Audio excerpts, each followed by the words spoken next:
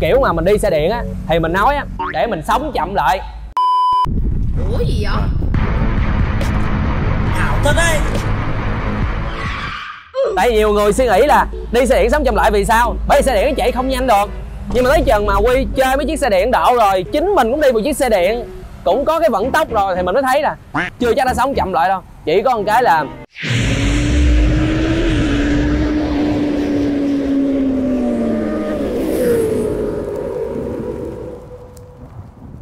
một câu mà Quy muốn khẳng định với anh em ở chiếc quay này luôn. Đây cũng là chiếc quay mà ít đồ chơi nhất từng xuất hiện trên youtube của hai bánh. Cũng là chiếc quay độc nhất ngày hôm nay sẽ xuất hiện trên kênh youtube của hai bánh. Và không phải cái lý do đơn giản gì, mà anh em thấy là cái bộ áo, jean, mâm niềm cũng jean, vỏ cũng jean, cái gì cũng jean hết. Chỉ có vài món đồ chơi lắc nhắc mà quy muốn chia sẻ tới anh em đâu. Anh Minh là chủ nhân của chiếc xe này hiện tại anh có một cái workshop ở bên à, Thủ Đức, chuyên về à, những cái bộ khóa smart cây gọi là phân phối sĩ luôn anh em. Và anh chạy từ Thủ Đức đến Tân Phú để muốn Huy chia sẻ với anh em. Cái bản đồ này rất là độc lạ.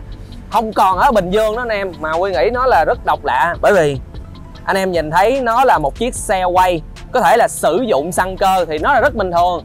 Nhưng ở đây, nó hoàn toàn là điện.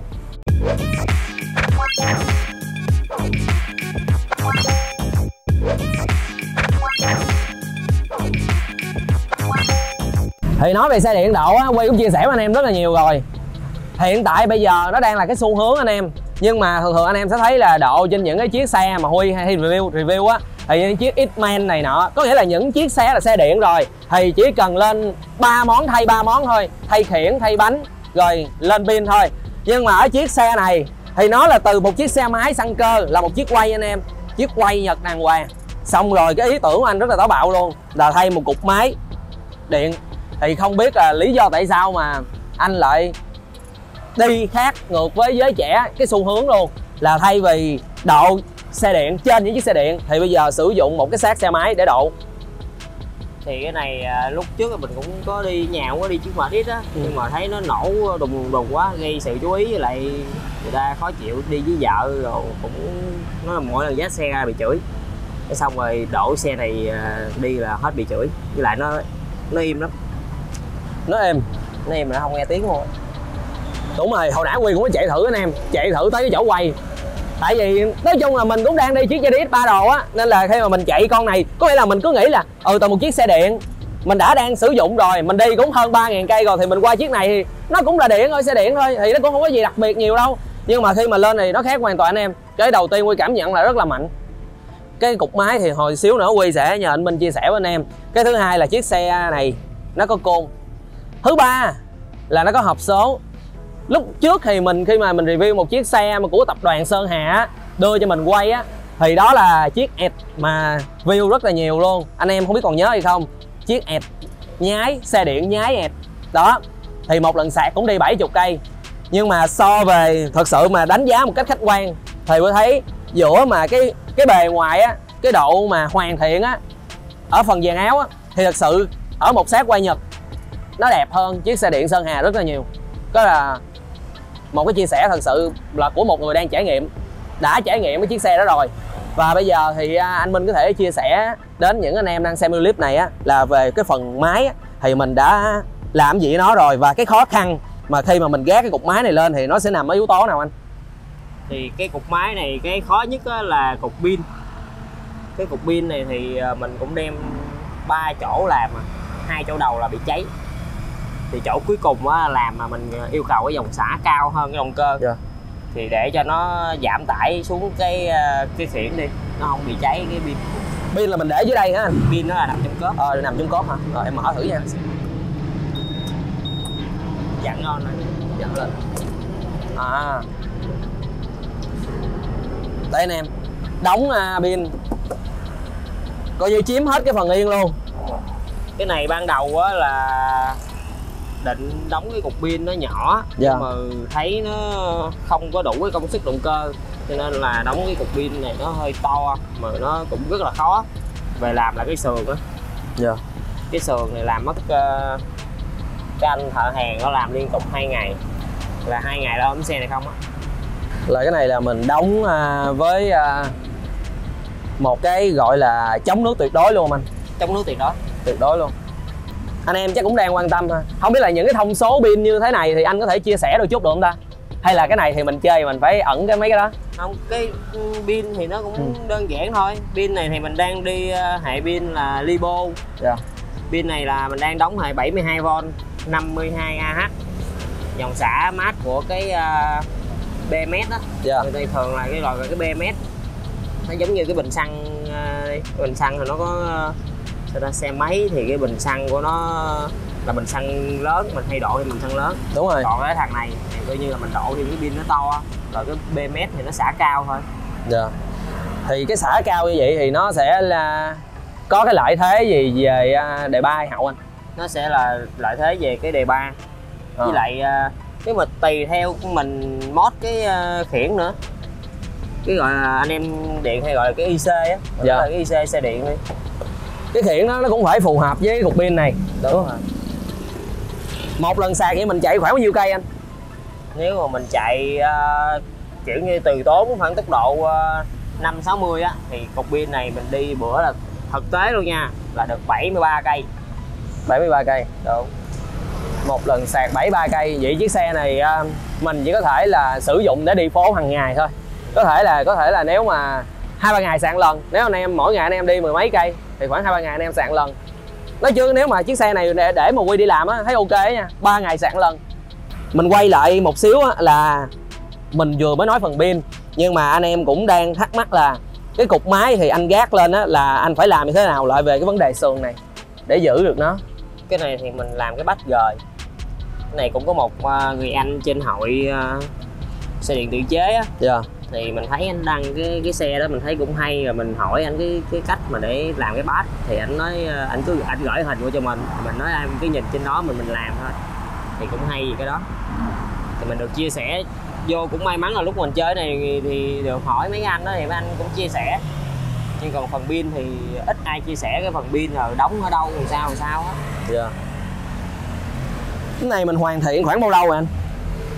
xe này nếu mà nói về thời gian hoàn thiện thì nó nhanh nhưng mà nếu mà nói đúng theo mà từ lúc mà ra ý tưởng tới bây giờ thành chiếc xe luôn á là đâu đó hơn 2 năm Hơn 2 năm. Cái này là mình sử dụng cái à, gọi là cái gì? Cái gì mà em không biết dụng từ chuyên nghiệp của anh em xe điện hay nói là gì cái gì motor rời á. Cái đó gọi là cái gì ta? cái đó motor rồi gọi là mid motor Mid motor. có nghĩa là mà động cơ xe điện thì nó có sẽ phân ra theo mình biết thôi nha Dạ. là động cơ hấp là liền bánh còn động cơ mid á, là động cơ gời là nó không có liền ở trong cái bánh Dạ. Cho nên là những cái động cơ mà mid á thì nó sẽ sử dụng à, dây cu ro hoặc là nhông sinh dĩa. đúng rồi Ờ, giống như đạt bay đúng không? Hay ha. Thì đó anh em thấy ha, chủ yếu là cái chiếc xe này là về cái phần à, động cơ và như Will vừa nói nha là vẫn sử dụng nhôm sinh dĩa như bình thường. Rồi phanh này nọ thì vẫn sử dụng bình thường như một chiếc xe phổ thông thôi. Cái đặc biệt ở đây là về cái phần cục máy. Đó. Và xe thì mình nó giống như chiếc Yeti em đang đi không ta? Em thấy bây giờ xe điện á thường thường nó sẽ có nhiều mod chạy anh. Thì nó có không?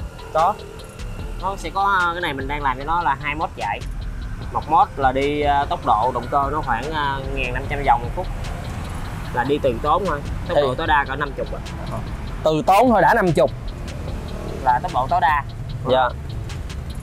Tối đa của cái à, của cái à, mod 1, đúng rồi còn cái mod 2 sẽ lên bao nhiêu anh? Mod 2 thì mình thực ra là chưa có dám chạy thử. Tại vì chạy ở số 2 nó đã lên hơn 90 rồi.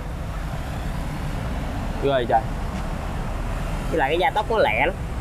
Cái lúc mà mình mới sử dụng cái động cơ này mà gác lên hoàn chỉnh á thì nó có cái cái vấn đề khó khăn về cái việc mà mình à, sử dụng à, côn hoặc là đá số không anh? Ừ, có.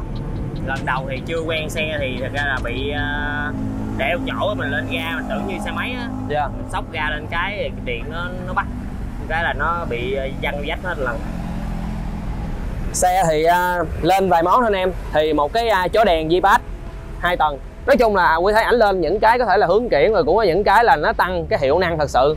Thì cái chó đèn Zipat hai tầng ở đây này anh em thấy ha. Thì nó là cái chó đèn mà gắn như zin. Bảo hành chỉ 12 tháng thôi.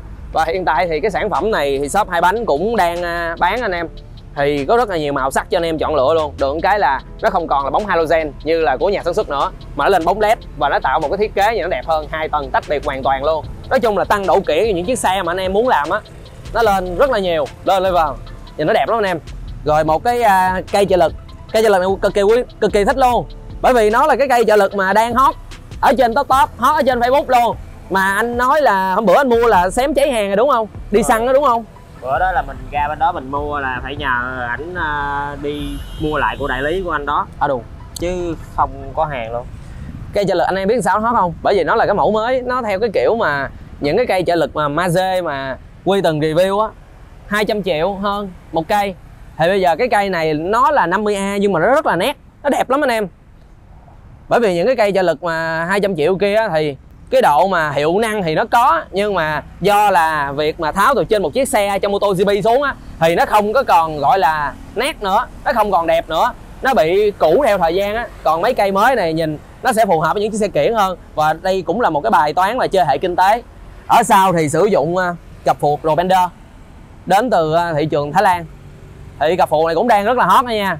Bây giờ cũng có những cái đại lý à, uh, Robender đã bắt đầu nhập từ bên Thái Lan về Việt Nam mình rồi bán thì cũng có bảo hành chính hãng này nọ.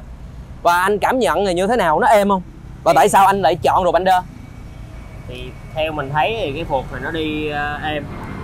Cái này không phải so sánh sao nha tại nhà cũng có Olin Dạ. mình cũng có bán luôn. Dạ. Nhưng mà khi mình gắn cái này vô mình thấy nó đi cái độ nhúng nó ok hơn. Và cái nấc chỉnh ghi bao của nó là mình canh được hai bên đều. Này còn cái thằng Olin theo mình theo cảm nhận cá nhân là mà khi Dạ. mình chặn á mình không có không có đếm được cái nấc của nó. Còn cái này nó có cái số mình dễ canh. Quy cũng từng review một clip rồi, thì nó có số trên nấc luôn anh em. Có số trên nấc và nhìn cái lò xo của nó, cảm giác là nhìn rất cứng, rất là cứng cáp luôn. Bởi vì cái lò xo được sơn đen nhám anh em, nên là nhìn nó rất là hay, nhìn nó tạo cái độ cứng cho chiếc xe. Ok, thì không làm mất thời gian của anh em nữa.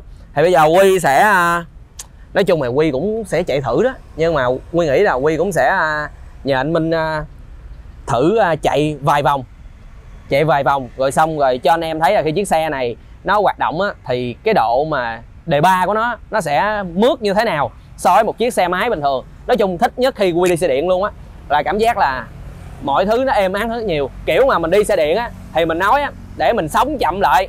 Tại nhiều người suy nghĩ là đi xe điện sống chậm lại vì sao? Bởi vì xe điện nó chạy không nhanh được. Nhưng mà tới chừng mà quy chơi mấy chiếc xe điện độ rồi, chính mình cũng đi một chiếc xe điện, cũng có cái vận tốc rồi, thì mình mới thấy là chưa chắc đã sống chậm lại đâu chỉ có một cái là theo cái khuynh hướng á là nó tiết kiệm hơn.